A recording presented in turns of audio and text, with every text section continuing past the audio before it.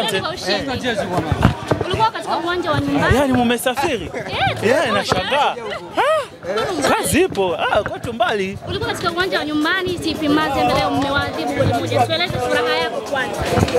Ah, Kwanza namshukuru Mwenyezi Mungu kwa, kwa kumaliza hii kundi salama na kupata pointi kumi na tatu yaani kati ya historika ya Yanga eh, ndio mara ya kwanza Yanga amemaliza kundi na, na pointi kumi na tatu yaani, kwa hiyo namshukuru Mwenyezi Mungu, na mliona mechi ilikuwa ngumu sana na tumepambana, tumepata pointi tatu.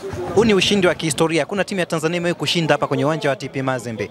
Hii inakupa ina, inaleta picha gani kwenye nyinyi wachezaji? Uh, kwanza, kwanza sisi wachezaji tuna furaha pamoja na, pamoja na benchi la ufundi kwa sababu ni tulikuwa na target yetu tuli, tuli, tulijiwekea kabla msimu na leo tumefanikiwa kupata kupata ushindi ugenini na hapa Lubumbashi. Mimi nimecheza ligi ya Kongo, kuja kupata ushindi uwanja ni ngumu sana, na, sisi tume, na sisi tumefanikiwa kupata, kupata ushindi hapa. Namshukuru Mwenyezi Mungu. Kuna namna Mazembe walikuwa wagumu, mmepata goli kipindi cha pili. Ya lazima lazima kwa wagumu kwa sababu wanacheza nyumbani uwanja wao e, na wanajua disi ambao wanatumia uwanja wao, na sisi tulikuwa na mipango yetu. Kipindi cha kwanza tukufanikiwa kupata goli, lakini kipindi cha pili tukapambana na tukatumia makosa yao, kipa akafanya kosa na tukaitumia tukapata, tukapata goli. Ilikuwa ni ngumu kiasi gani kukumbana na mabeki hawa ambao wamekuwa wapata nafasi mara kwa mara, na leo walikuwa wanataka kumwonyesha mwalimu kwamba nao wana kitu. Uh, mabeki ambao wamecheza leo sio wale walikuwa wanacheza kwenye football. Kama ulikaa muda mrefu hujacheza, ukipewa nafasi lazima uoneshe eh, oneshe kiwango chako, na wao wali- walikaa muda mrefu hawajacheza, na mimi eh, sio sio nini kitu ambacho nataka nisema njoo kujitetea. Mimi nimecheza timu wa taifa mechi Jumanne, nime- nimesafiri siku tatu, yaani nimefika nimefika hapa Lubumbashi Ijumaa usiku saa tano usiku, yaani nilikuwa nimechoka sana. Me- Mechi ni nyumbani kwetu, familia, baba mama wapo, walikuwa uwanjani, inatakiwa nicheze na niondoke na ushindi, kwa hiyo nina furaha sana. Una- Unasikitika kwamba umecheza lakini hujafunga goli katika ardhi ya nyumbani.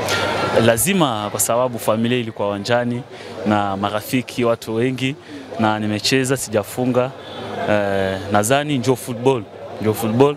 Tunaangalia mechi ambayo inakuja mbele yetu. Hatua ya kwanza imemalizika, hatua ya makundi. Unaiona wapi Yanga zaidi kuelekea hatua ya robo fainali na hatua nyingine zinazofuata? Unajua sisi eh, malengo yetu ilikuwa kuingia kundi, lakini tumeingia tukaona uwezo wetu, quality ambayo ya wachezaji tunayo, yani tuna, tuna uwezo wa kwenda mbali sana kwenye, kwenye michuano hii. Kwa hiyo sisi hatuwezi kuishia hapa robo fainali, yani tunaenda, hatuwezi kuishia hapa tu. Inshallah. Baada ya mechi mlienda kwa mashabiki na kushabiana kwa pamoja. Wapo ambao wamesafiri kutoka Dar es Salaam mpaka hapa. Tuambie chochote wakisikia. yani nawashukuru sana kwa sababu wameonyesha upendo wa timu yao na kutoka Tanzania na basi siku mbili wanja, e, njiani kufika hapa sio kitu rahisi. Yani na- nawashukuru sana, nawapongeza tena, na tumefanikiwa kuwapa furaha kwa sababu mashabiki, kitu ambayo wanaweza kuwapa wewe kama mchezaji ni furaha. Tumeshinda, tumeondoka na ushindi, na nadhani na wao watarudi na furaha kubwa mpaka Tanzania. Zawadi alikapo umeiandaa bana. Ah, lazima lazima wapi? zawadi, eh, Zawadi gani? zawadi yake ya mkongo ipo, alafu na Fea atapewa zawadi yake. Matatu unayo. Unaahidi kufunga mengine robo finali? Lazima lazima Lazima? Tetea matumaini. au sio?